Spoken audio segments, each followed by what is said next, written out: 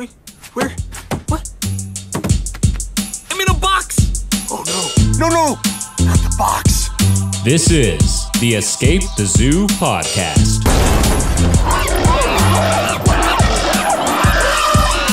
With your host, Daniel Clark. Hello and welcome back. This is Daniel Clark here with the Escape the Zoo podcast, where we talk everything wildlife with photographers, cinematographers, conservationists, and scientists. Today's guest is Dr. James Borrell, a conservation scientist and science communicator with a passion for adventurous expeditions and conservation fieldwork. I really enjoyed this fascinating conversation, including discussions on invasive species, trophy hunting, discovering a new species of amphibian in Madagascar, using dogs that think they are goats to save cheetahs, and why we should be optimistic about conservation in general. So, without further ado, here it is my chat with the one and only Dr. James Borrell. Well, James, thanks so much for taking the time to chat. I'm a huge fan of your work and I'm really excited to dig in because, as I think I mentioned to you in our previous conversations, most of the podcasts up until this point have really been focused on wildlife photography. And this is really our first jaunt into conservation. And it's something that I care deeply about. So thanks so much for taking the time. Yeah, sure. I wanted to, to start off on kind of a positive note because I think when you kind of dig into conservation at this day and age, that it often goes very quickly into a doom and gloom negative situation. But a lot of your work really focuses around optimism in conservation. Can you talk a little bit more about why you're optimistic given the current climate? Yeah, I guess there's two things. Um, the first one is kind of entirely selfish in that um, if I'm going to spend my life working in conservation or have a career in it, um, then the last thing I want is to spend every single day of the rest of my life doing something depressing. so if you just focus on the negatives, then yeah, I just don't think it would be much fun. But I guess the other real reason to be optimistic is um, I think that's the only way to be because the way I kind of look at conservation now is that we're at a really interesting point. Um, we've been slowly degrading the natural world for hundreds or thousands of years, but but the population was so small that you know some of those impacts didn't really have a global effect. But in the last kind of 50 years, since conservation as a term has has arrived, um, we really are having massive effects. And if we carry on the way we are for the next 50 or 100 years, then that'll kind of be it. There won't be any conservationists anymore because there won't be much to conserve. Right. So, really, what happens in the next 50 years, we're either going to be successful and turn things around, or we're going to carry on how we have been. And I'd rather just be optimistic and put all my eggs in the basket that we're going to turn it around and do something amazing um, because the alternative's not really worth thinking about because that'd just be rubbish. So I just think you've you've got to be optimistic, and, and when you dig into it, there is so much to be optimistic about. Can you talk a little bit about specific examples of of wildlife species that have come back from the brink of extinction and that kind of lend Yes. itself to optimistic thinking? Those are just they're kind of like the the poster childs for for conservation. So there's and there's there's a surprising amount. There's there's species that have that have gone right down to really small numbers, like the Chatham Island robin, um, the Mauritius kestrel, um, all all kinds of species that uh, southern white rhino have gone down to really small numbers, where anyone with smart money would say that's not going to make it, um, and then they've come back. Uh, you know, Californian condor, great example. But then there's also species that really have been chalked up as extinct. You know, like the Lord Howe Island stick insect, which is just this weird uh, giant insect that hid on a remote island for 80 years and no one knew it was there. Um, there was, I heard a story a little while ago about a, a, a type of uh, turtle that went extinct in Southeast Asia. And someone who happened to know a thing or two about turtles was walking through a market and they saw one for sale and they realized it hadn't gone extinct. You know, it was out What? there somewhere That's Um, crazy.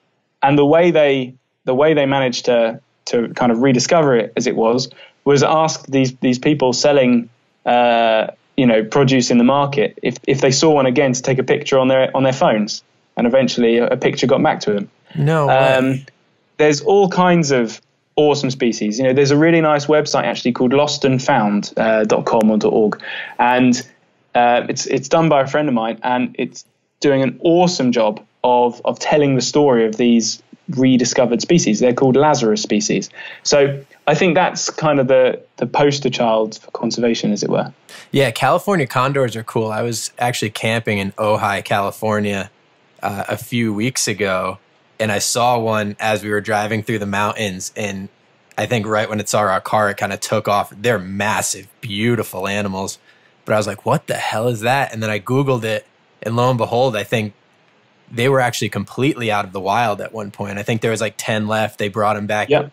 um, and kind of got the, that, the species that was, rolling. It was actually a really controversial one because um, they were on the massive decline and they and and sort of humans made the call to make it go extinct in the wild so they ca- they caught the last remaining individuals on a sort of last ditched breeding attempt and oh, really? that that takes guts you know oh, yeah. because you can't just say, hey, it went extinct because of what everyone did. If you catch the last, you know, 25, take them into captivity, and then you fail, it's all on you. Yeah. Um, so it's it, the the other example of that's the um, the vaquita, that tiny porpoise. Um, I can't remember exactly where it is, but uh, but they think there's sub 50 of those left, and they they actually bought in a strategy to try and catch them, uh, and they caught a couple and they died straight away and oh, they rapidly no. kind of rethought. But and loads of people are like, hey, you know those guys, what idiots, blah blah blah blah blah. But sometimes you've got to try. Sometimes you've got to lay out all the options and you've got to try, and you're not always going to be successful. Yeah, it's it's interesting because on the on the flip side, another example is uh, the Hawaiian crow. I think they've taken, and there was like 12 left in the wild, and they took them all to the San Diego Zoo and the breeding within the zoo, I believe, has been successful, but the reintroduction has been unsuccessful. So there's yeah. so many weird little factors yep. that go into figuring out how it works. But the the one example you alluded to that I heard on your TED talk, which I'm going to link in the show notes, and everybody listening should definitely check out, was the Lord Howe Island stick insect. I thought yeah, this was crazy because it shows the extremes to which people can go to actually save species and kind of an ugly species at that. Um, but can you tell that story in a little more detail? Yeah, sure. So, so there's an island called Lord Howe Island, and in the 30s, the, the, the same thing happened that has happened on loads of, of sort of oceanic islands around the world. Um, a ship was uh, uh, wrecked on it, and rats escaped. And on islands where you have, you know, you know, really diverse species, all kinds of different birds, mammals, insects, and so on. Often they've evolved without some of the predators that we are really familiar with on, on the mainland. So often they're things like cats, goats, or rats. And those things might kind of seem fairly harmless, but on islands, if you're totally not adapted to you know, not, not evolved to, to tolerate rats, they can be a really big problem. They eat mm-hmm. chicks in their nests, you know, they eat everything and they reproduce really fast. So the problem on Lord Howe Island was rats got on and all kinds of things went extinct. It was a real pity. One of the things that went extinct was this iconic Lord Howe Island stick insect. And it was just known from a few specimens in a few museums around the world. And it was chalked up as extinct for about 80 years. Now, about 20 kilometers off Lord Howe Island, there's this tiny, ridiculous, just insane pinnacle that juts out the ocean called Ball's Pyramid. And it just looks like nothing on Earth could live on it. It looks so inhospitable. But a, a, bunch of scientists in the early 2000s in America, they started looking at this island and thinking, hey, I wonder if, wonder if anything could live on that. And after a lot of work and a lot of effort and a lot of uh, missed opportunities because of the weather and so on, they were mm-hmm. finally able to to land on this island in the day. And they went up and they found this single bush. And they found underneath what happened to look like stick insect droppings. I have no idea what stick insect droppings look like, but these guys, they obviously were, were clearly right. in the know. And they actually went back at night, and underneath this single bush, they found 24 Lord Howe Island stick insects, probably the entire population left on Earth. And they, they collected four, two males, two females, and they took them back to zoos in Australia, and now there's thousands of them. And so it's just the most remarkable success story. And one of the things I think is awesome is that stick insects are pretty cool. Um, you can post their eggs and, and send them to people. Uh, they're really, really resilient. And um, you can even kind of mail order stick insects. And they've been sending them to schools around Australia and now even further afield um, so that schools can grow them, look after them, and learn about this story, which Oh, I think is just the coolest thing ever.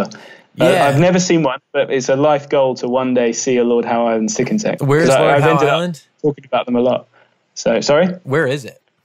Um, it's just off the coast of Australia. Well, some way off the coast of Australia. What I thought was so cool about that is it's cool on a variety of different levels. One, the fact that I think you allude to this in the talk is that it is not a particularly cute creature. So the fact that Yeah. some humans have decided that they're going to take this on as a project is really telling to kind of Yeah. the altruistic purpose of conservation. Two, if you saw the photo of what the pinnacle was that they found the insects on, it's crazy to even think that you could get up there, let alone get up there and try and find insects. Yeah, you see that and you just think, nah, nah, not a chance. But how, how the how the stick insects got there now that's an open mystery. And one of the one of the best uh, thoughts I've heard was that a bird could have picked up a stick insect thinking it was a stick and, and flown over to make a nest or something weird like Ah. that. But we'll because they can't fly, you know. We'll but we'll probably never know. Yeah, jeez. But the crazy thing too is it's it's such a powerful example of that's probably one or two people who have some strange fascination with insects, but them themselves were able to bring an entire species from the brink of extinction back Yeah. to life. And it Yeah, just shows and if that you think of it, if you think of it as just a couple of people, you know, you and I, we're just a couple of people. People listening, they're just people. And if you want something bad enough, and you're willing to, you know, maybe make a few sacrifices for some sick insects or something like that, then there's no reason when we hear these these stories about species slipping to extinction that we can't step in. Yeah, And- you got to um, and- figure with a coordinated effort the things like the Amur leopard and the elephants that you hear the terrible stories about that it gives you hope that if two people can save an entire species, maybe as a coordinated society, we can help figure things out. yeah.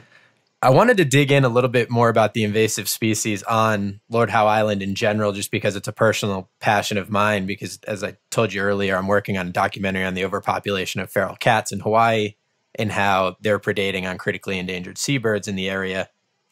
What is your thought on invasive species in general? I think the really interesting thing is when it becomes cats, they're a cute, cuddly animal that people Yeah. have a much harder time uh, getting their hands dirty versus something like a rat or a mongoose, which are kind of mean looking uh, creatures. What do you think about the feral cat situation in general? Because it's such a huge problem, not only in Hawaii, but basically Yeah. any island nation and basically anywhere So- in the world. it's a shame.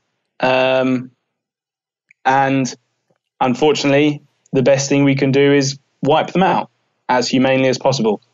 And that sucks. Um, everyone recognizes it sucks. People do it, don't like it at all.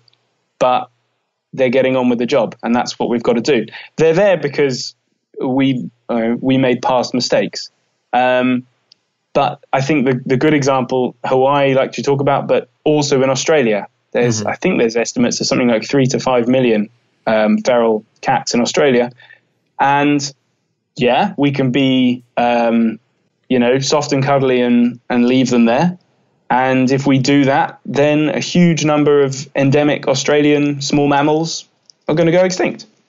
So so that's the choice. You know, a bunch of species go extinct, or suck it up and have to get rid as humanely as possible of invasive species.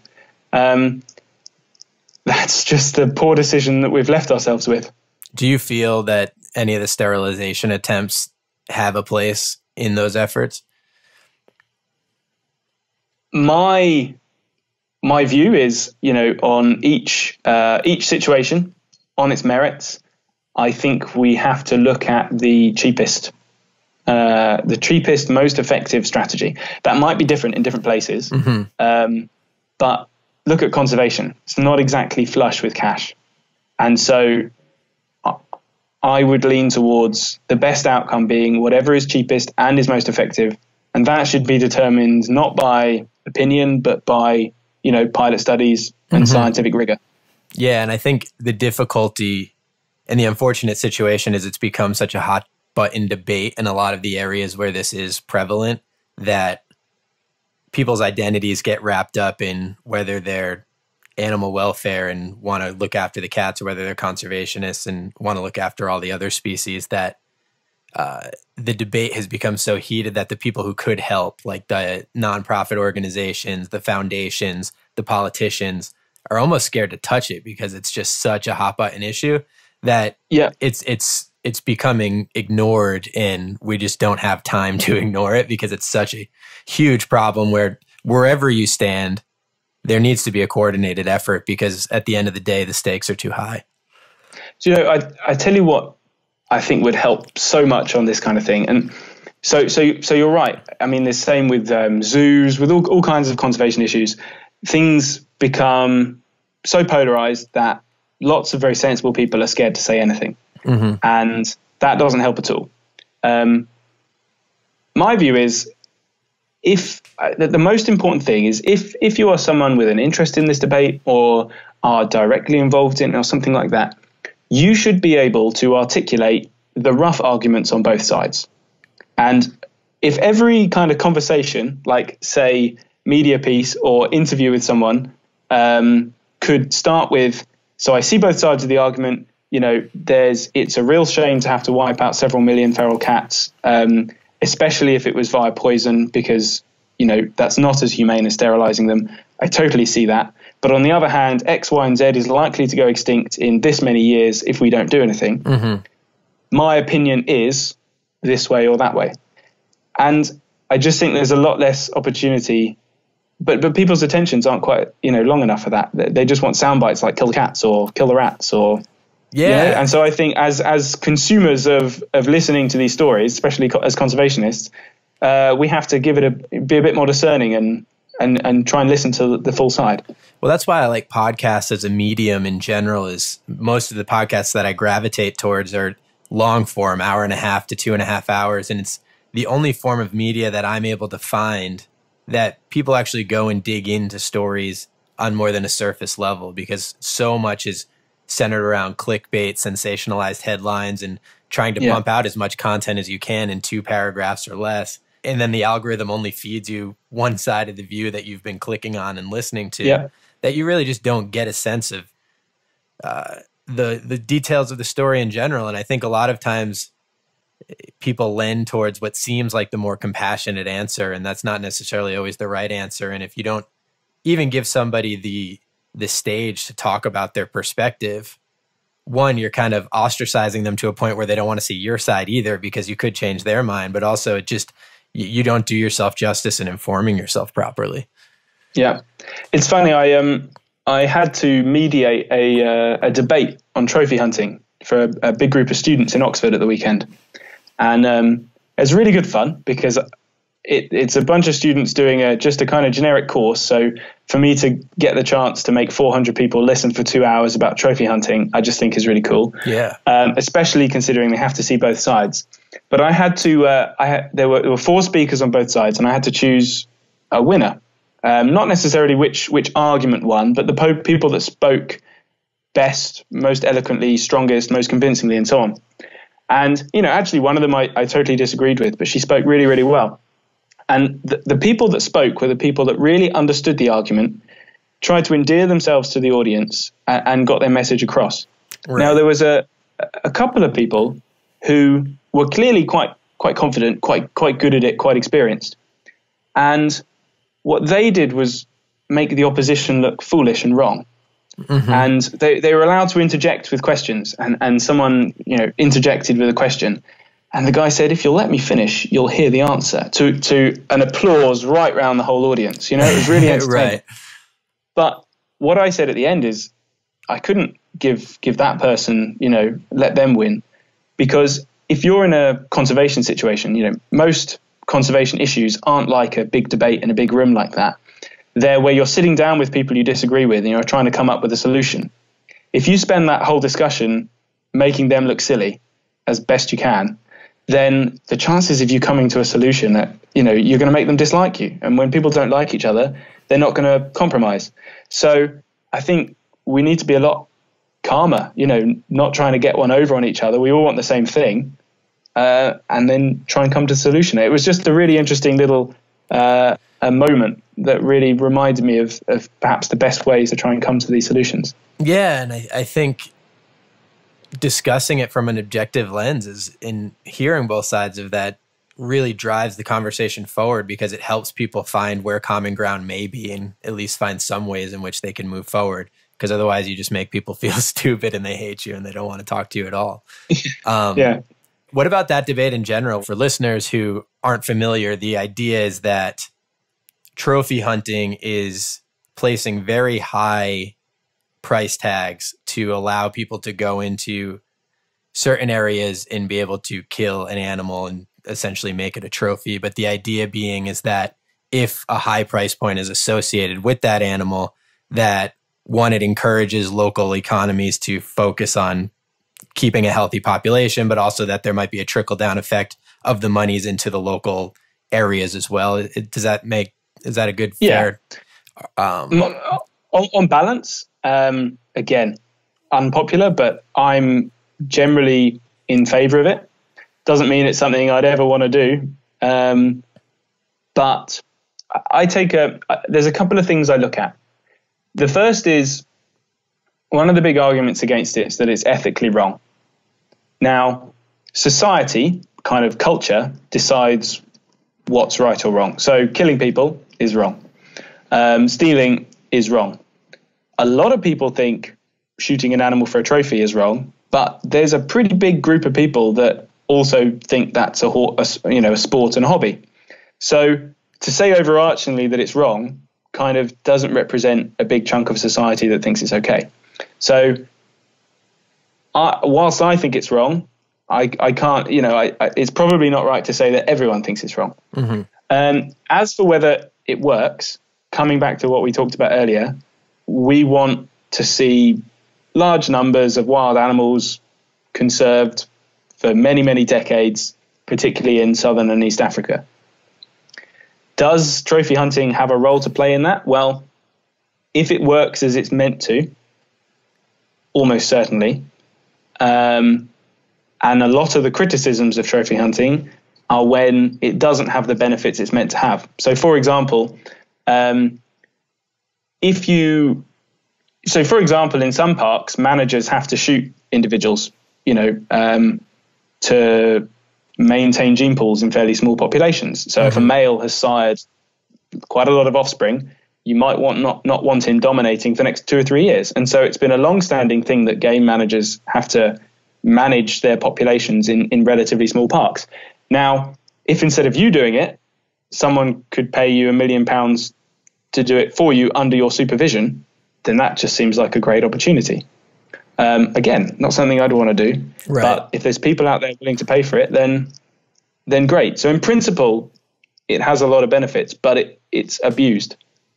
Yeah, I think, and I'm going to preface this to because I think it talks a little bit about having conversation and why dialogue is important is I used to be very, very anti hunting, not necessarily trophy hunting, just hunting in general. I thought as a wildlife advocate, how could you ever kill something? And then I got really into listening to Joe Rogan's podcast. I don't know if you know him, but he's he's an avid hunter. And when I started understanding a little bit more about how disconnected big agriculture and big cattle and just like the large industries around meat production is in America versus a guy who goes out and is one with nature and really understands what it means to take a life and can feed his whole family for a year and a half and doesn't need to contribute to this mass industry that's putting out terrible meat into the world, pumping more methane into the world than any other industry.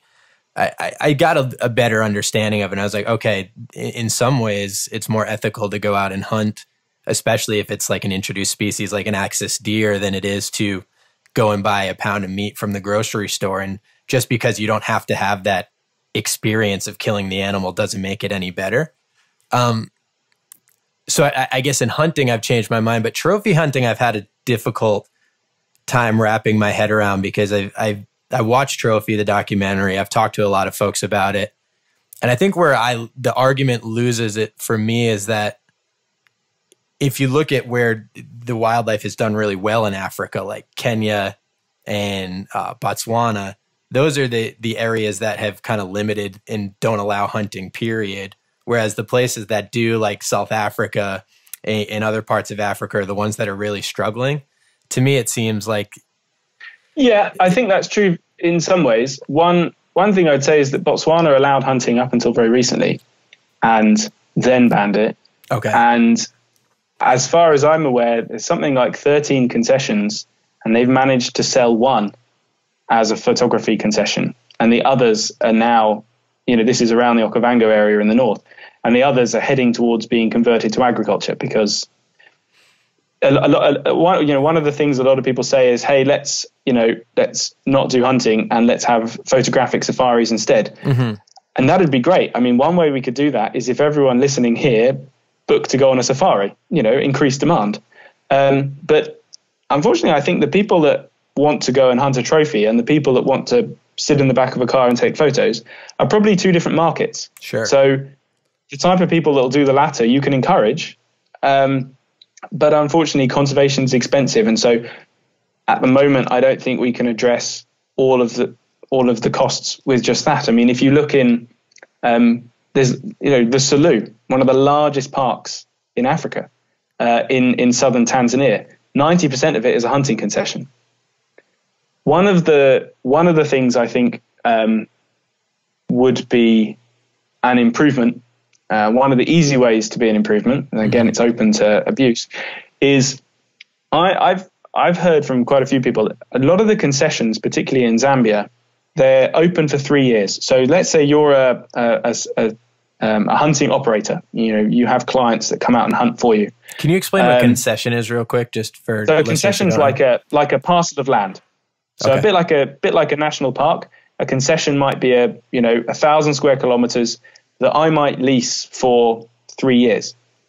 Now, if I'm a hunting operator and I lease a piece of land for three years, and in three years I have to reapply to win it again at an unknown price, then there is no incentive for me to manage that land very well. I might as well go in, shoot anything I can find that moves, and make as much money as possible because in three years I might not have it. But if you if I was able to, provided I met all the requirements, was audited every year, if I had it for 20 years, let's say, then it would be in my interests for the population of those animals to increase, to hunt sustainably, to not shoot a male in its prime so that another male came in and wiped out all of its cubs. You know, th- there would be a lot of incentive for me to manage things a lot better. I think that's one of many ways. You know, mm-hmm. the other is that scientists do a lot of work looking at what quota should be. If you do want to take off, say, 5% of a population, how should you do it? Which individuals? What would be the least impactful way of doing it? Um, but unfortunately, a lot of that research is just ignored right. you know so I, I agree that it's it's definitely not worked in some places you know and hunting has contributed to the decline of a lot of species but if if it could be done following a, a pretty strict set of guidelines and people were still willing to pay and do it then it's got it's got potential it shouldn't be ruled out you know as a as a blanket ban across africa Yeah, and I think that is such a key component of it is one, you can't rule it out on the sake of compassion alone because I think that's exactly what I was talking about earlier where clearly from a compassionate standpoint you should be like, "Oh no, that's terrible. Like nobody should do this." But at the very least it should be studied and understood as to what the benefits could be. I think for me I I start to think that corruption always plays into these things and it's almost like does trickle down economics work? Like I almost think that if somebody were to be managing that money, how much of that money is actually being put back into conservation? How much of that money is actually going into the local communities? My guess is it's a very small percentage in most places. Um, but if there was a way to do an actual study on it where it was tightly regulated, um, and I don't even know if that's possible, but if it were, I mean, it's certainly something we should consider as an option because there is the chance that it has a benefit. I guess I guess what I would say to to anyone that was sort of you know totally opposed to it, and and this is the kind of the challenge I set myself when I when I get an opinion. I try to think to myself, what would it take for me to change my mind? Because if you ever, you know, it, particularly conservationists, we as we grow up, as we educate ourselves, we develop opinions. And when you get to that point where nothing will make you change your mind, so say trophy hunting's wrong and nothing will make me change my mind, then what use am I doing talking about it, you know, and being involved in the conversation? Because I'm I've become stubborn. And so I guess what I would say to anyone that's opposed to trophy hunting, which I totally see their perspective, and there's a lot of reasons to be opposed to it, is if if we could sh- if it could be shown in a study that you know everything was published that take an area and if it was managed under trophy hunting populations would be larger and would be maintained and those areas would be protected for trophy hunting which would improve the chances of a species surviving then would you support it and that is, at the end of the day, what a lot of scientists are trying to get at. And it's never going to be one study. It's going to be 10 studies. It's going to be 100 studies. And we're going to look at the weight of evidence. And if it all comes out that it, it just doesn't add up, then we'll be queuing up to, say, ban it. But at the moment, the weight of evidence seems to suggest there is a role for it. As a conservation scientist, do you have any interest in? Is that something that you would see your work ever going into? Definitely if if the right opportunity came up i mean it's it's something i'm really interested in you know um, i i probably historically was a, a, bit more opposed to it and i spent you know a fair bit of time in south africa and you know when you're in south africa you have a braai with mates and a, and a friend of mine invited some people around to the braai and these guys were just hilarious, really funny, really nice guys. They bought a lot of beer, they bought a lot of meat to the barbecue. Braai South African word for barbecue. And uh, it slowly kind of dawned on me as I was chatting to these guys that they were hunters. Mm-hmm. And I thought, you know, one side of me thought, hey, these are the guys I got to hate. You know, I really don't like these guys. But the other side of me had a couple of beers and thought, these guys are really, really good fun. And we've got so much in common. Um, and so, again, it's different if you put a face to a name. I mean, I guess one of the things I, I hate most about trophy hunting is the posing with the dead animal. Yeah. You know, that bit that bit just gets my goat. And and going after them with a bow instead of a, a gun or something like that. But at the end of the day, if it's money for conservation and it has a net benefit, then you've got to support it. There's one last thing I I'd say is um I was in an airport a little while ago, and you know when you're in an airport waiting for a flight, you try and find something to keep yourself busy. And uh, there's always these magazine shops. In the UK, it's WH Smith's, but all around the world, there's these magazine shops, and you just kind of browse magazines. Mm-hmm. And it's the often Hudson I gravitate over here. Yeah, exactly. Yeah. And, and often I gravitate to kind of the wildlife photography, conservation, these kind of things. And I saw a, an American hunting magazine. I can't remember what it was called, but it, it had a picture of a big deer on the front with a, with a kind of crosshairs, you know. And I thought, hey, let's just educate myself. Let's have a look at this. And you know what? It was so similar to all those wildlife photography magazines. Really? Pretty much everything is the same. Beautiful photography, talking about the countryside, trip reports, and everything. It's just the end product is they shoot it, whereas the end product for us is we shoot it with a camera. You know, these people are really, really, really similar to us. They love the environment. They just have a kind of different perspective. So, you know, hating them is probably not going to uh, get us a load of progress. Yeah, yeah. I think it's it's an interesting debate, that's for sure. And I think at the end of the day, keeping an open mind to it is probably the most important piece of it. I, in kind of in a similar path on that trophy documentary, what is your thoughts on the John Hume debate, which is John Hume is this guy who uh, basically farms thousands of rhino in where is he? He's in South Africa. South Africa. South Africa, yeah. and the difficulty there is he does give you the understanding that he cares about his rhinos. He protects them with like military style uh, um, yeah. defense mechanisms. But the idea is that he's also harvesting rhino horn, which you can do without harming the rhinos yeah, if you sedate them. It. But the, the argument against it, it is, legalized. Say that again. Uh, he's stockpiling it and waiting for it to become legalized. Yeah, and so, but it's creating uh, supply for a market of rhino horn, which is kind of a bullshit uh, medicinal benefit type thing. Yeah. That's the equivalent to your fingernails. So it, it's a really interesting debate there because there's part of it where, yes, he has a healthy rhino population, but inherently by doing that, he's also increasing supply of a reason that rhinos get hunted. Um, yeah. What are your thoughts there? You know, it's a really tricky one. I guess what I would say about it, it's not really in the spirit of things, is it? You know, I mean, there's a kind of etiquette, isn't it? And that's not very sporting. Yeah, you know, yeah. um, it's it's so difficult. I mean, if you look at it, has he had any poached? Nope. I mean, you know, you have that amount of money, the species is saved in a way, and ethically, from a really cold kind of scientific kind of scientific point of view, is farming rhino any different to farming cows? You know, I know I know rhino horn doesn't do anything, um, but there's lots of things we do and take that don't do anything. So I don't know that I feel strongly enough to kind of condemn the guy or say I think it's fine. I'm somewhere in the grey area in the middle. I don't really know what to think about it. But yeah, it's just it's just a tricky one. I suppose that you've got to be an optimist and look for a tiny silver lining in the shadows and think, well, hey, at least at least there's a large population of rhino there. Yeah, I- think for me, what what's hard for me to grasp is it almost defeats the purpose of why you want rhinos out there. And this might be altruistic, and obviously, I mean, we don't live in a utopian world. But for me, like when I think of wildlife, what gets me excited is just these parcels of land that human haven't touched, and it's just this Yeah. beautiful place Yeah. of things living for themselves. And when you start farming an animal, it you know that the behavior is changing. I have the same thing when it comes to like relocating animals. Like be like, oh shit, like we lost this small population over here, but the good thing is, is we're going to take this rhino from Kenya to Sudan, and all will be fine.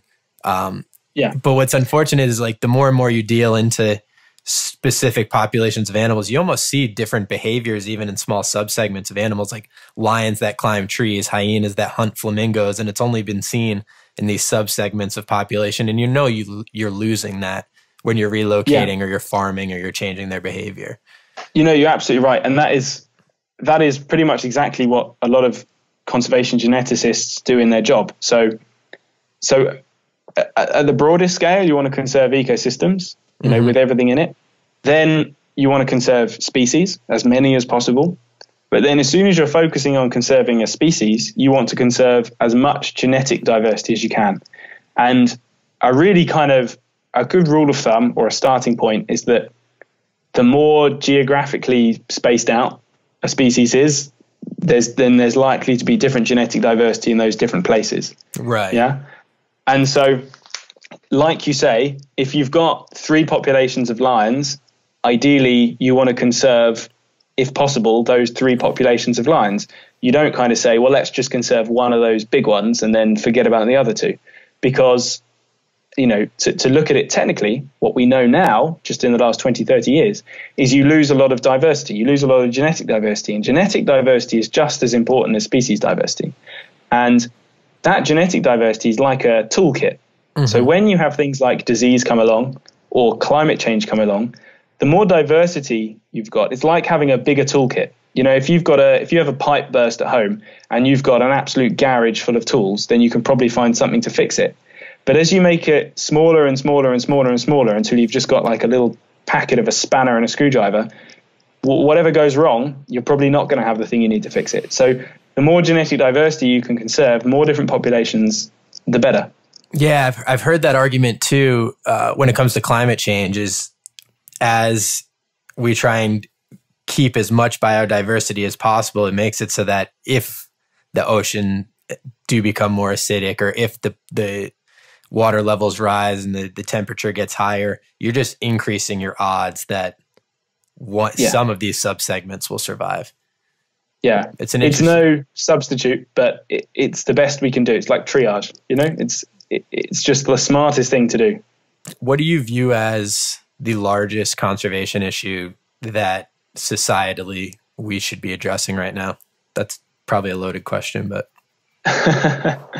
Um, my view is that all of the things act together. That, that's not a cop out to say there's no one most important thing, but the way I look at um, conservation is that if we had a really intact kind of global ecosystems, really low pollution levels, um, you know, no over harvesting and all these things, and then we had climate change come along for whatever reason, then that would be a problem. I'm sure there'd be some things that would lose out, but I think we'd see a lot of resilience. Let's say we didn't have climate change. Um, you know, we just had a massive ocean plastics problem. I'm sure there are some things that would lose out, but I think you'd, you'd find resilience. It's the fact that we've got climate change combined with so much pressure and you know habitat fragmentation, so much pressure on ecosystems, so much overexploitation, all in such a short time scale. It's all of those things together that I think are, are kind of creating the, the perfect storm of a problem. Any one in isolation, I think we'd probably end up quite amazed at how resilient, you know, life is. Yeah, I that that is one reason why I remain optimistic. And for those who have listened to several of these podcasts, they're going to hate me because I bring up this example almost every podcast. But I had a, a friend who was clearing plots of land in Western Massachusetts to build houses on, and he cleared it. He would hack away this mass amount of undergrowth and forest, creating these plots of land and it was crazy to see how he had to do it on a weekly basis because of how quickly the the Yeah. growth would come back. So I agree with you entirely that I, I think nature is resilient, and that what keeps me optimistic in terms of the whole Yeah. situation. But And I think that that's a, re- a really good one of bringing it back to things like the Lord Howe Island stick and insect, right? So Mhm. you you can't just. There was a, a famous economist wrote some really controversial piece last year, and he said something along the lines of, "Let's just conserve things that are useful to us," you know. And on the surface of it, okay, if you're not into nature, that's fair enough. You know, let's just conserve cows and barley and maize and things like that. But actually, all of these things act together. You know, ecosystems have resilience because all kinds of different species are slightly redundant with each other and they all kind of fit together. Um, I don't subscribe to this whole like nature is in harmony and balance. You know, nature is red in tooth and claw, but there's a lot of kind of redundancy and resilience in the system. So when you start popping off species you don't think are useful, then initially you might not see any impact. But eventually, if you do it with enough species, you're going to hit on one that was doing something really important that you didn't know about. right, And so you can't just pick which species to conserve. I think you've got to go at it with a principle of conserving everything. And and the way I prioritize personally is stuff that's most rare. You know, I couldn't care if it's a rhino or a tiny little frog. I think wh- whichever is most in need and you think you can help most, that's what we should be doing is triage. Can you explain what you meant there by you said you don't view ecology as a balance, but more a tooth and claw? I, I, I'm butchering it, but I didn't understand what you were saying. Yeah. So one thing I never say, and you, you read it a lot in books, and it's a really nice sort of ideology, is that nature is in harmony and balance. I just don't really think of it like that because every single organism is trying to survive at the expense of every other organism. Right. You know, they just want to reproduce themselves. Species don't try to maintain species. Individuals try to maintain individuals. Um, I I still think that's beautiful. You know, the way it all works. It, it's led to these mad adaptations you see. You know, um, one of the things I love about nature is even if you spend your life learning about it, you can di- discover something weird you've never heard of on a daily basis. And I like all kinds of really weird niche Facebook groups. You know, I, one of the good things I think about Facebook actually is that you can like really weird niche groups, and then it recommends Right. more weird niche groups to you. Yeah. And I, I like this weird gecko group. And someone posted the other day, I can't remember the species, I've no idea where it's from, but a type of gecko that can lift its tail up and kind of squirt some horrible substance out of pores all up its tail. Bit like, kind of looks like a scorpion when it does it. And I mean, you know, I, if I'd ever seen something like that before, I'd remember it. yeah. And I just think it's amazing. So you've just got to conserve all these tiny, weird, little amazing things because you never know what they what they can do. That's crazy. And that that's what excites me so much about wildlife is the fact that as somebody who cares so much about it, I still think I might know 5 to 10% of the species that are actually the, the largest population. It's like most people could probably rattle off, yeah, lions and cheetahs and giraffes Yeah. and elephants, but the craziness and just how interesting each specific animal is. Something that could look so boring is like a seabird or an ant or a gecko. They, when you dig into what they're actually doing on a day to day basis, it's mind blowing. Even insects, Yeah. like insects that can plant these like parasitic eggs within other insects and like control their minds and help them protect their cocoons and like just weird shit that you could never even imagine exists, especially in something that you seemingly deem to have very little intelligence from a uh, consciousness standpoint. Yeah, Uh, it's just, a, it's crazy. a bottomless pit, and and that's the great thing, kind of working in it because you just get surprised every day. You know, on the big expedition in Madagascar, on the on the last day, we were packing up camp, and just as we were packing up, the, the last thing I saw in that forest was there was this gigantic wasp, and it was attacking a, a tiny tarantula. And we hadn't actually seen a tarantula on the, on the whole expedition. And it's one of these ones that, that stuns it and then lays its eggs in it and buries it in a hole. And when the young hatch, they kind of consume the poor thing. and, you know, you, yeah, just coolest, coolest stuff. It's crazy. It's crazy. The documentary I'm working on now is all about Toxoplasma gondii. It's essentially this parasite that the only place in the entire world that it can sexually reproduce is in the gut of a cat. And so what happens is the cat sheds the the eggs of the parasite in its feces and then if it gets picked up by a cat because it's like drinking a water source that's contaminated or it's rooting in the soil then great it continues to reproduce and create more but if it's picked up by rat prey i mean by cat prey like a rat or a bird it migrates to the area of those animals most likely to be predated on by a cat like the heart or the nervous system. And they still don't know exactly how but somehow it rewires the brain whereas you've put a rat into an enclosure with cat and makes them like the smell of it. yeah whereas like innately they would hate it just because traditionally instinctually they're trying to stay away from it. It's just bizarre. They're actually sexually slightly sexually attracted to the smell of cat piss just makes them more likely to be predated on but that's crazy i mean that's tens of millions of years of evolutionary in the making Life and- is so cool. yeah, but back to Madagascar, you actually found a new species in Madagascar, right? Yeah, well, I've got to give all credit here to um, you know one of the guys I worked with, a guy called Mark Scherz, and he is just kind of one of the best taxonomists on earth right now, I guess. And he he was the one that really, you know, he was just sitting there getting excited at every single thing we brought in. We'd go out on surveys, and it's kind of like going shopping. Like people think I don't know what people think science is like, but we basically had little bags and we're going along these transects looking for stuff. And if it's something new, we're kind of like, I'm just going to borrow you for a minute, stick it in a bag, take it back to camp, and, and, and, you know, he'd examine and have a look at them. And, uh, yeah, I you know I think it's going to turn out there's several new species actually, but we've got one Oh, wow. published and named after the expedition, which is which is just kind of one of the things you always aspire to to have. So all, all credit for Mark for his you know really hard work, just chugging away through all those samples. Yeah, that's amazing. Are the amphibians in Madagascar having similar issues to the ones in South America with that fungus that's spreading and Yeah, now that's a that's a really tricky question. Um, not sure is the answer.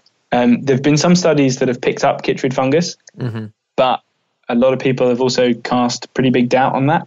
And the last thing I heard was that it could be that chytrid originated in Madagascar and they have some immunity. But Uh. I'm not I'm not kind of up to date with the latest thinking, and, and some of my colleagues would probably be, have pretty strong opinions either way. So I, I'm not sure, but it's it's something that people are really worried about and actively working on. There's also an, an invasive species there. Actually, there's cane toads, you know, and so we had these ID sheets of all the species we were looking for, and what you were talking about with cats and rats, cane toads are poisonous and a really big problem. Mm-hmm. And our basic plan was, if you find one, kill it yeah. which just sucks because you you're going there because you just love life and wildlife. And a cane toad's no different from these other awesome animals, but it's just we know what impact they can have.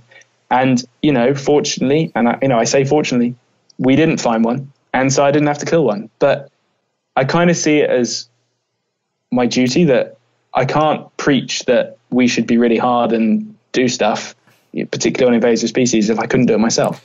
Yeah, well, I mean, and in a weird way, it's almost just not doing one act that, in turn, by not killing that cane toad or by not killing that cat that might be predating on birds up in the mountains of Kauai, you're in turn killing dozens of other animals that are Yeah, struggling exactly. because of that. It's just the act itself that can be brutal. Yeah. Chytrid fungus, that's an, I, I couldn't think of it when we were talking earlier. I read The Sixth Extinction by, um, I'm blanking, Kolbert, I think it might be. Anyways, I'll, link it in the show notes. But uh, when I was reading that, I had no idea that chytrid fungus was essentially wiping out like 80% of the amphibian populations in the world. And when I was, I'm pulling that number out of my ass, so please correct me if I'm wrong. But when I was reading that book, I was like, what the hell? We need to figure this out now. Is that something that's still as big a problem as when that book was written? And are there mitigations that are helping? Yep, as far as I know, it's a it's still a pretty serious problem. It's still the topic of um, a lot of study. There's there's another disease that I've also heard about more recently called Ranavirus, which is, also seems to be a threat in some parts of the world. Um, South America appears to be worst hit. I mean, the golden toad, um, Darwin's frog, uh, two that I think have gone because of it. Um, certainly, other species. Um, I think one of the things about a lot of these issues, like, you know, take plastics or chytrid, is sometimes there'll be some big breakthrough and you'll hear about it in the news, but it's really easy to think, hey, why isn't someone doing something about this? And really, there are so many people working so hard on so many of these things, Yeah, yeah. you know? And I guess problems are hard. Conservation is really hard. And so it can take years to suss something out. I think one of the things about conservation is let's say you think you found something, you think you found a, a solution. Mm-hmm. What if you're wrong? You know, what if what you do makes it worse? And so I think in conservation, there's and science in general, there's just this really sense of you know you've got to get it right because you're you're messing around with real life, and so you can't just rush in. So uh, you know, with Chytrid, certainly there's hundreds of research groups working really hard to suss it out. Yeah, that's a heavy responsibility, man. Have you ever have you come across that where you're you're feeling like you're onto something, but it's just I mean the weight of actually implementing it must be terrifying. Yeah, well, yeah, n- never something as profound as like a cure to Chytrid, but you do you do get carried away with your own research and you get wrapped up in it and you think, oh, this is awesome, this is awesome, and you think, oh, you know, what if I'm wrong? Like I, I go around saying I, I I generally support GM crops. I generally think trophy hunting is something we should accept. Um, I go around saying a lot of stuff, and I could be totally wrong. And I, I like to think that if I if if there was better evidence, if there was evidence I was wrong, then I'd be the first to admit it and say ah, everything I said was wrong. Just you know, ignore that rubbish. But you've just got to do the best with the knowledge you have. Yeah, well, I think if anything from the trophy hunting debate, whether right or wrong, at the end of the day, having somebody with your background advocating that it is a potential solution at least gets people to be like, oh, maybe I should at least think about this. That's that is all I want. That is all I want. Just have a look. You know, read more than a headline. Make up your own mind. If you still disagree, awesome. That's fine. You know, What is uh what are you working on right now? What's the main focus? what I'm working on right now is it's a good example of how to kind of get at conservation. Sometimes you have to go this really kind of circuitous route, kind of all the way around the houses and so on. So I work on a crop in Ethiopia called Enset, and it's really, really weird. I'd never heard of it this time a year ago before I started. And if, if everyone pictures a banana, picture, p- picture a banana tree, um, Enset looks really like that, and it produces these little kind of yellowy orange bananas as well, except they're full of seeds and they're not really very good to eat. And instead, what you eat is the kind of trunk and like the underground root part of the Enset plant. And to give you an idea about how big these things can get, they can be over a meter across and 10 meters high. Wow. And so that's as big as a house. Yeah, that's Yeah, huge. Uh, it, it's so big that it takes two people to put your arms around it, and as big as a house. And people grow fields of this stuff in in southwest Ethiopia, and the place where it's it's grown, twenty million people are living off it. So that's like a third of the population of the UK. So that's like a major, major, major crop. But because it's only grown in this really one tiny bit of Ethiopia with a really high population density, uh, and it's traditionally been really quite isolated, no one's ever heard of it, and very little research, kind of agricultural research, has taken place. So we're looking kind of at everything to do with Enset because it's potentially this this amazing food security, drought tolerant crop, um, which is something is something so valuable in a place like Ethiopia. Now, what does that you know? So I've ended up spending the last like year just like chatting to farmers, you know, in, in these hills in Ethiopia. And what's that got to do with conservation? Well, if you can have these amazing food security crops, then all of a sudden your reliance on on the tiny bits of forest that are remaining in Ethiopia decreases. Right. You know, it, the, the, the problem is, you know, Ethiopia's got over 100 million people. It's the second most populous country in Africa. I had, I had no idea of that. Neither did I. And, and let's say you, you, you grow cereals, you grow, you know, normal conventional crops that we're familiar with. You, you plant them in the spring, you harvest them in the autumn, and something goes wrong. You get a disease, you don't get your rains, something goes wrong. You're screwed. All of a sudden, you're screwed. And so perhaps you, you go into the forest and you harvest bushmeat, or you start harvesting wild plants, or you've got to do something because you're going to survive. The cool thing about Enset is that you plant it and you can harvest it at anything from about two to 10 years old. It just keeps getting bigger and bigger and bigger and bigger. It can, it's really, really resilient. It can survive all these little changes in weather. Um, it can survive periods without water. And so the way we kind of picture Enset is like an insurance policy. So maybe Mm-hmm. you've got your other crops, but you might have 10 of these things at the bottom of your farm. And if everything goes wrong with your other crops, that will keep you going for several months. And you don't have to suddenly resort to to different things like converting forests so you can grow cash crops or something like that. And what do you make out And of so, it? so you make some weird stuff. The three main foods are called kocho, bulla, and amicho. Amicho is when you just boil it, kind of like a potato. I haven't tried that one. It's, it's not it's not particularly common. Um, kocho and bulla, you basically mash up this big trunk. You you scrape it, you bash it, you turn it into a pulp, and then you squeeze that pulp, and the liquid that comes off is kind of like pure starch, and that's bulla. And you can make a really tasty kind of couscous type thing out of it. Um, but you can also make a kind of not so tasty paste with butter and stuff. But Got it. Ethiopians love it. I mean, I've just not acquired the taste for it. and then the other food is kocho, which is kind of like bread. Bread is probably being a little bit optimistic. It's um, it's kind of like a slightly cheesy cardboard.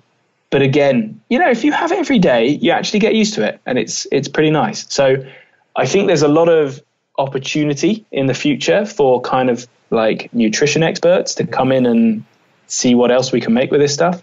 Right. But as a crop, it's just mind blowing. You know, 10 meter high, and you have fields of this stuff. It's like a miniature forest. it's interesting to think from your perspective as to how it's it's seemingly a little less related to conservation, but arguably more important than some of the other things you could have taken on. Yeah, I guess you just have to think For of it in terms result. of. Yeah, you just have to think in terms of priorities.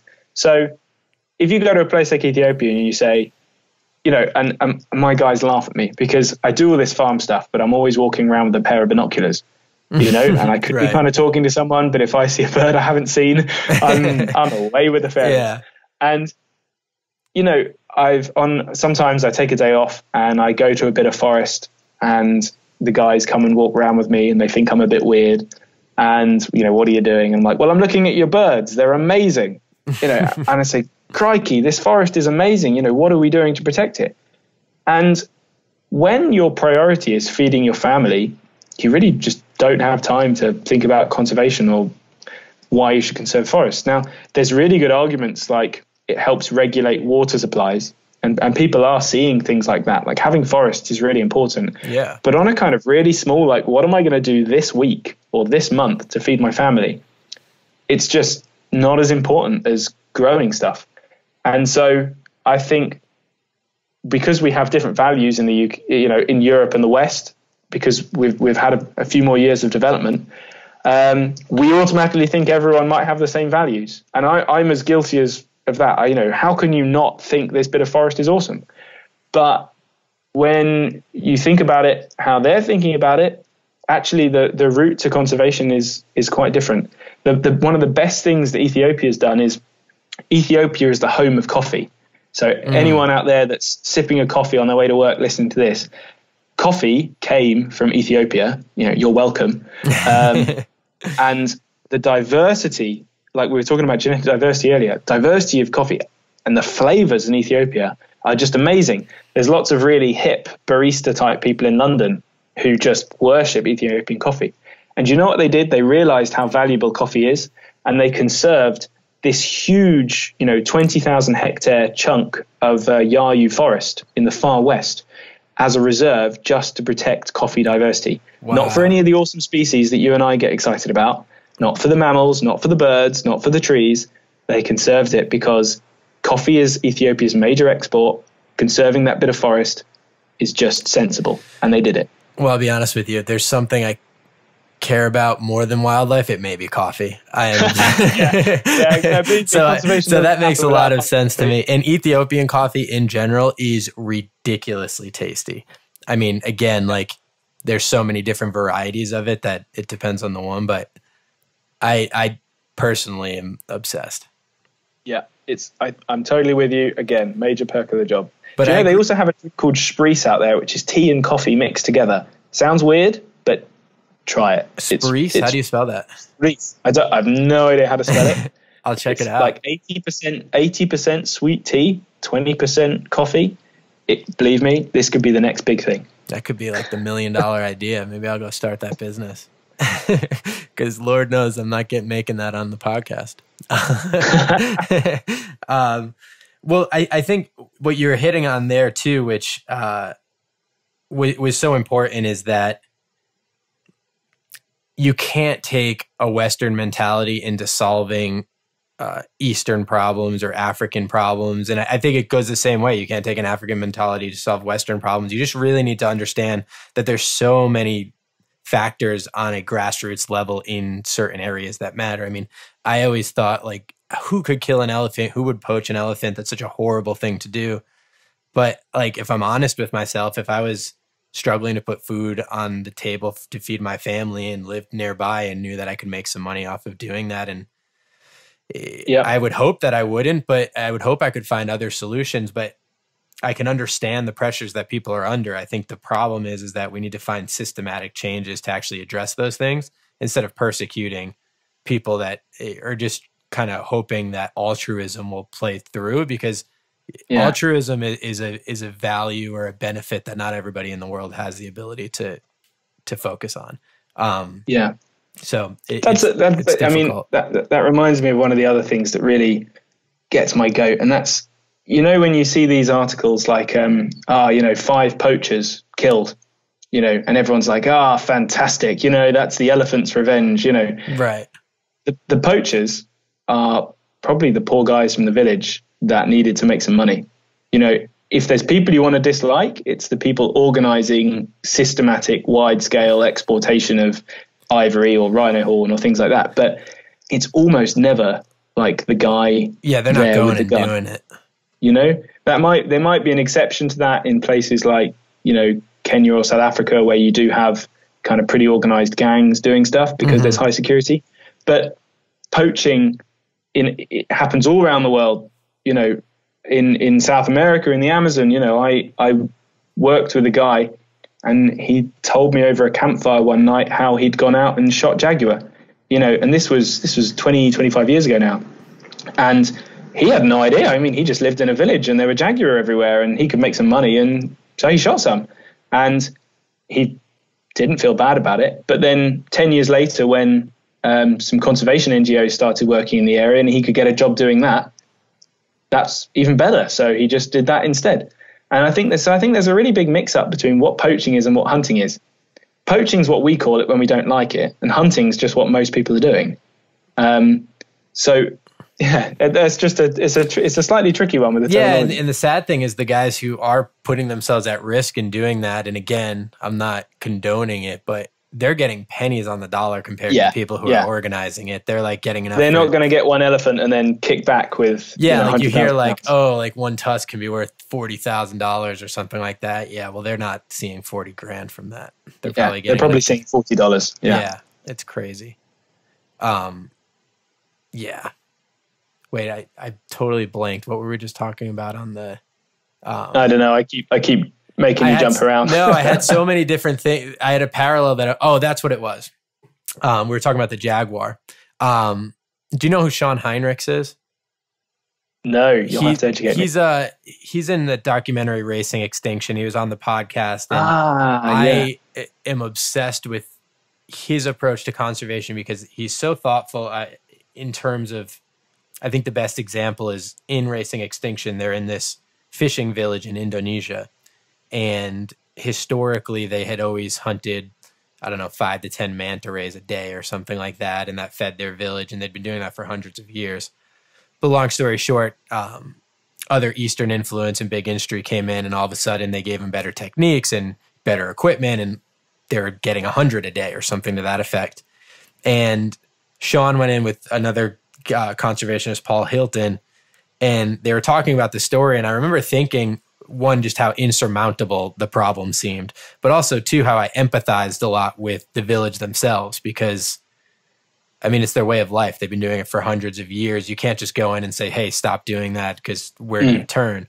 But long story short, they really got people excited about thinking through a, an alternative means of one, pushing people towards sustainable fishing, two, bringing a lot of research into the area, and three, bringing a lot of ecotourism into the area. Then now the manta rays have skyrocketed since then. I don't remember the exact number, but it's an insane number.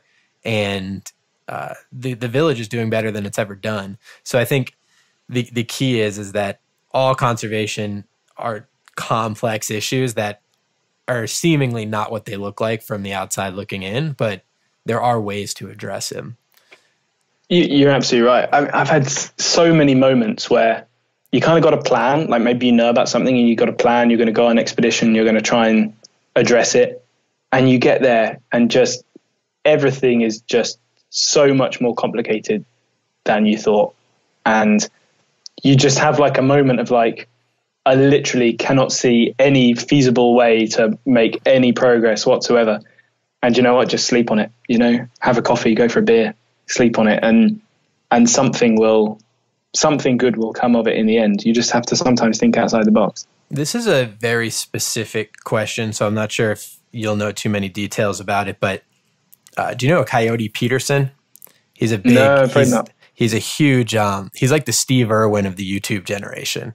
Um, so, but I saw him speak at a conference in Los Angeles uh, a few weeks back, and he was talking about how he went to South Africa to do a story on rhinos, and they ended up spending a lot of time filming, but didn't end up releasing it because the situation with rhinos in South Africa is so convoluted and confusing and frustrating that they didn't even know where to begin. And I had another conversation with a wildlife cinematographer who was saying the same thing that it's just a totally messed up situation about the rhinos in South Africa. Do you know what that's about? Because I know it's people have been talking about how messed up it is, but I don't actually know what's going on. Well, I actually I actually recorded a bit of podcast on rhinos in South Africa last year, Okay. and I kind of I kind of I never put, finished putting it together. Um, it is it is confusing. I think. Yeah, I don't think we know. I don't think we know what behind it. I, I- think what gets me on things like the rhino thing is when you. There, there was a guy uh, on the reserve that I was on, and I think I think there's two kinds of people that know things about rhino stuff. There's people that aren't involved at all and kind of looking at the big picture, and sometimes somewhat have somewhat an impartial view. And all of us not lucky enough to live in Southern Africa probably are in kind of that group. And then there's the people on the ground that kind of have the real experience. And I sort of certainly don't consider myself to have very much of that. And I, I think of it very much big picture, like I do with all conservation. Sure. And standing in the bush one night, you know, with a beer, and this guy just said to me, We're just waiting, you know, we're just waiting to hear a chopper or we're waiting to hear a gunshot. and then we'll go out and we'll find one of our rhino dead. And you know, you hear these things like you don't think it could happen to you until it does. And I guess I just I'd seen rhino before, but it it hadn't ever been real to me. And I'd seen the rhino on the reserve that day, and just for them to say they are literally just waiting, and they said, you know, there's a park to the west of them, it's been hit. There's a park to the east, it's been hit. There's a park to the south and to the north. They've all been hit. They haven't yet. And so they're just waiting. Do you know? And it, it's one of those things that had never actually got to me until until they said that. And then I just kind of got it, you know? And so I can't, you know, kind of shed any more light on it than that, really. But it, it you know, the more experience you can get, it just gives you different perspectives. And is it is it strictly poaching? Is that what it is? Or is it Yeah. is there other Yeah. dynamics going on there? No, I mean, people want horn. Yeah. you know and and with like a lot of these commodities the rarer it gets the more the value goes up so it's it, i guess it's kind of simple dynamics like that in many ways Yeah, it was just the, the way they were phrasing it, it sounded so strangely vague, but I guess um i think there's a, a hell of a lot of corruption involved yeah. and that always makes things nice and complicated Yeah. But anyways, I want to talk a little bit about your work in Madagascar because that seemed to be a, a very large piece of what you've been up to for the last few years. Can you talk a little bit of I always think Madagascar in general is just an amazing place that I really want to visit because what I didn't realize is that it's like three times the size of the UK. Um, yeah. it's a massive place and the biodiversity there is absolutely insane. And ever since i watched uh, anthony bourdain's parts unknown in madagascar i've always really really wanted to go and it's an awesome episode which i'll link in the show notes. But uh, can you talk a little bit about what draw you, drew you to madagascar and what you were working on there?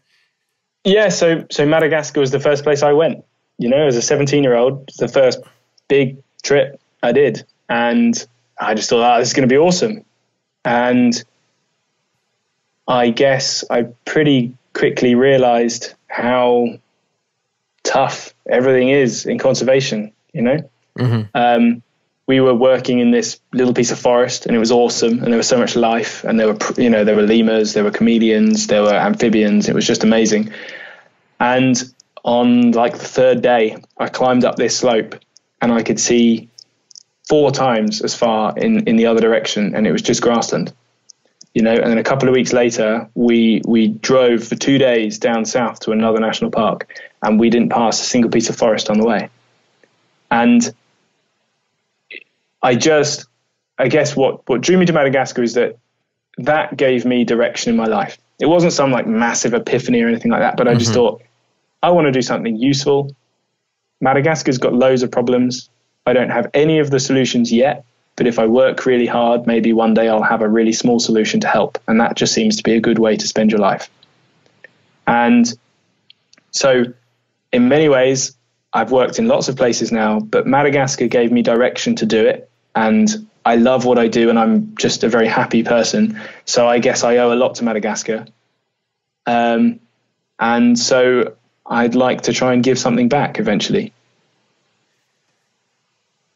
if you could if you had unlimited funds to basically work on any project that you wanted to that you think would immediately have the most impact or would be the most interesting to you or what you would really want to dedicate your life to do you have a sense of what that project would be No, because you know, there's lots of examples of lots of money. I mean, Madagascar is a good example. P- people have been putting money into it for 30 years, and yes, no lemurs have gone extinct, but there's really, you know, this isn't a criticism in any way, but there really isn't an awful lot of progress. You know, we're still kind of in the same place we are.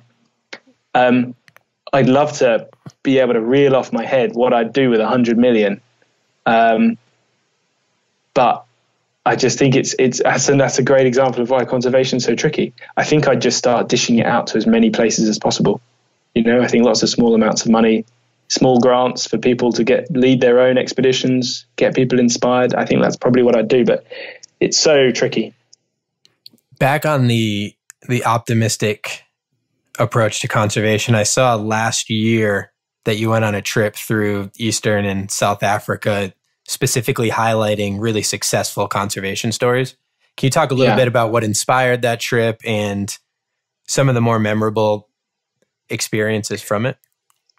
Yeah, well, I guess um, so. I just spent four years doing a, a PhD, and if you work too hard, I think you're in danger of losing the passion for why you love wildlife in the first place. So a big, big part of it was to, to get out there and, and see all the things I I love.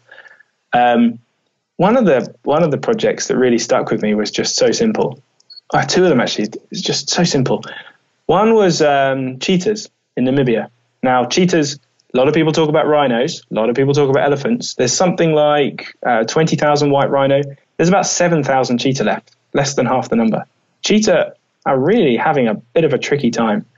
And um, Namibia is actually home to pretty much the largest population in southern or East Africa. So Namibia is kind of the, the, the, the center of cheetah conservation. And one of the big problems with cats and predators in the wild is when you're a herder and you have goats or something like that, you don't like cats because they eat stuff or they scare your goats and things like that. Mm-hmm. And there's a really simple project that has started breeding these enormous dogs, and they are completely cute and sweet and friendly. Wouldn't hurt a fly, but they have the most fantastic bark, and they look really quite scary. And they're, they're Anatolian uh, shepherd dogs from Turkey.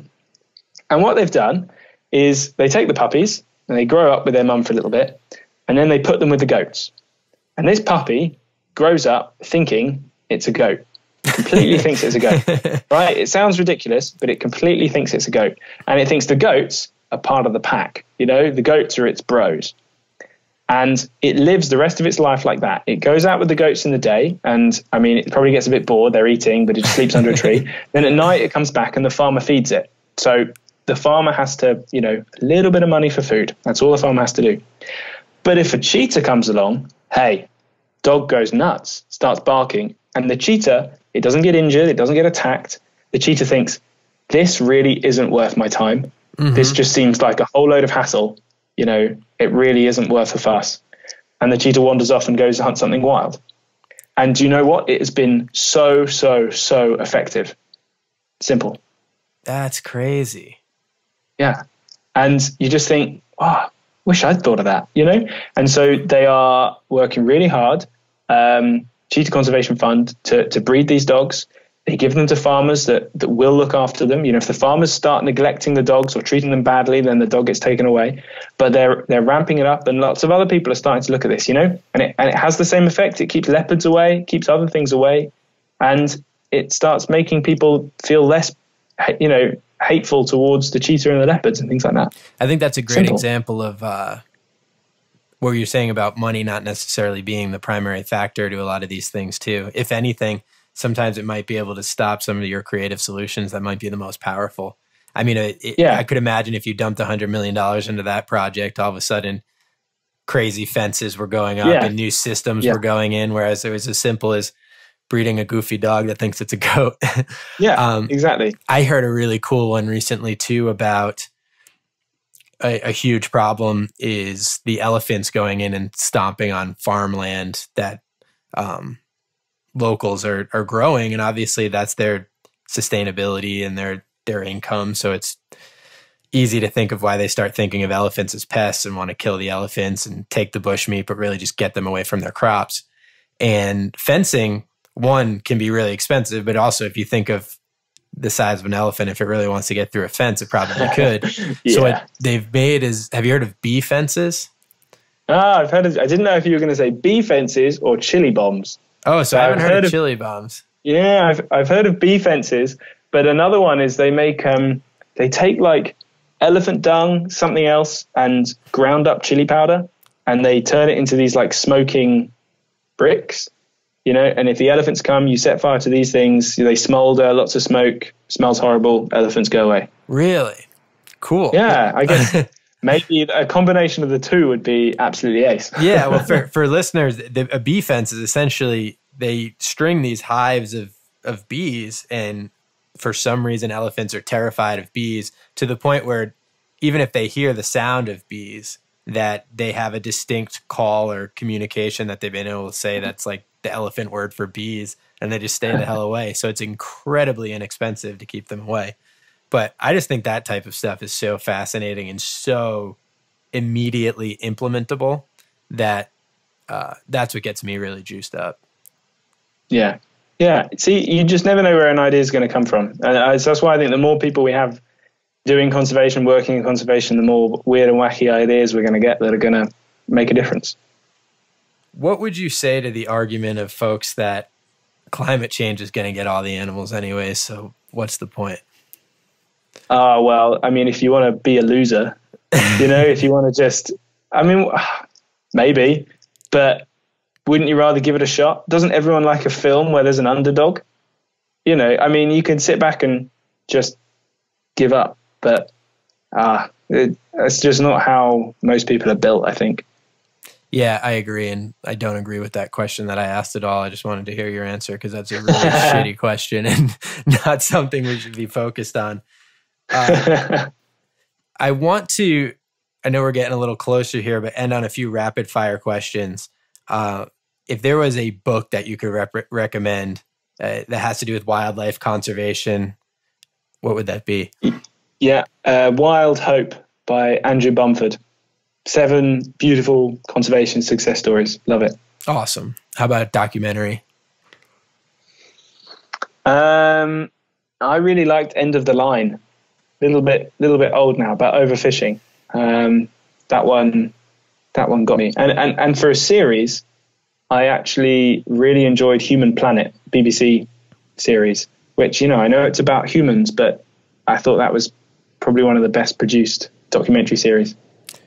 If an average individual wants to help out, one, just how can they in general, and two, financially, if they wanted to, how do you decipher between all the organizations that you could donate to and decide yeah. where your money is is most well donated? Sure. So I'd say there's two things there. What can they do? So I've spent the vast majority of my life being a student. So look, mostly been asking for money from people to do conservation stuff. So where to give it hasn't been on the top. So I, I empathize with a lot of people that want to help, but maybe don't have much money. And so mm-hmm. what I would say to them is be a discerning consumer of media. And what I mean by that is what we really need is conservation stories to be on the front page of newspapers, for example, as opposed to boring celebrity stories. Now, the way that happens, whether you like the system or not, or whether you want to complain about how the world works, the way to make that happen is to click on those stories and to have more people click on those stories than to click on the boring, useless ones that don't matter. So, when you go online, read the conservation stories, read them from good sources you know, maybe leave your browser open to rack up the minutes of viewing time, or click on them several times to help help us all out. You know, uh, but just be a, a, cons- a, discerning consumer of media. Don't click on the, the silly clickbait ones. Click on the good stuff that matters, and that will make it more important, and that will raise its profile, and it'll be a snowball effect with a bit of luck. Yeah. I, so that's what I would say to that. I read a, uh, an article yesterday that was a little concerning talking about how so little news coverage is is touching climate change now because people have kind of I don't know if apathy is the, the right word, but have kind of developed a distaste. Yeah, I know. I think it. apathy is the right word. Yeah, yeah and I it's so it's, it's crazy to think that no matter what your stance on climate change is, it is still a perspective, the downfall of the entire species, and it, the fact that we yeah. can't get people to care about it is is insane. Um, so yeah, that, that you know, but it's the same. I mean, here in in Europe, we've got really hot, uh, abnormally hot summer weather, and people are starting to to worry about it. And you know, it's exactly the same as: do you worry about the animal, the animal welfare, the one you can see suffering, or do you worry about the species? And most people are more affected by the animal suffering rather than the species going extinct. It's the same here. We get some weird weather, and people think, "Oh, hey, maybe climate change matters," and then it and then it goes away. You know, but it's the long term trend that's going to be difficult for us. Yeah, that article specifically was talking exactly about that, about how across the world, Japan, Greece, California, even the UK now recently, the wildfires and the heat have gotten absolutely crazy. And obviously, hurricanes are picking up and everything.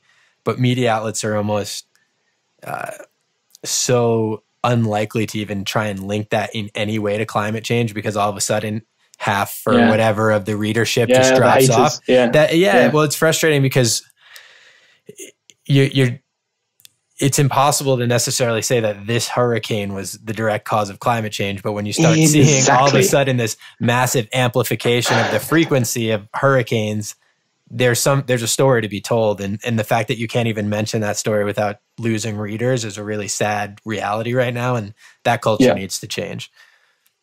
Yeah, and I think it's I think the, the problem that we have is that I I spend most of my day talking to conservationists. I'm talking to you, and most of the people listening are conservationists, and kind of a lot of people are going to sit there and go, "I know," you know, right. everyone knows this is so obvious, but it's really easy to forget that it's kind of like an echo chamber. We're all talking to our group of people, and there's loads of people out there that have probably never heard that before, and are, aren't likely to read it, aren't likely to click on it, and you know it's really difficult. So, so I guess maybe we, we should all go to work and grab three friends and give them a lecture. Yeah, and I think bringing it back to the trophy hunting that we started this whole conversation off by having that as a general discussion and not necessarily ostracizing people and making them feel stupid uh, if they if they don't know about it or don't believe in it is is such a huge piece of that.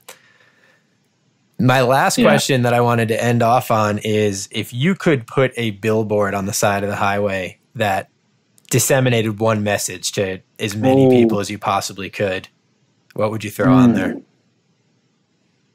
Mm, that's a good one. I kind of feel gravitated towards a kind of Jurassic Park, life will always find a way kind of spookiness. I just think that would be pretty cool. I Um, like that. uh, oh, I just, I couldn't put anything negative. Do you know what? I think I would.